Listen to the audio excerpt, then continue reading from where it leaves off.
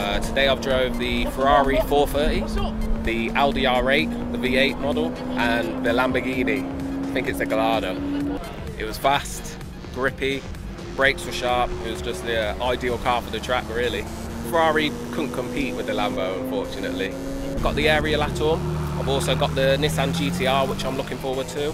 And uh, yeah, I think that's about it. The second right, yeah, the second right is the best part of the track. It's a bit tricky if you don't go into the corner correct, but at the same time, it's it is a good little bit of fun. The straight's nice, that little straight up there, nice. Pick up a bit of speed. It was beautiful. Oh yeah, I did put my foot down. I weren't supposed to pull it down so soon, but at the same time, yeah, he did say he said to slow down a bit. Yeah, yeah, perfect day. I uh, recommend it to everybody. Get a chance to come down here, definitely do it. Well worth the money.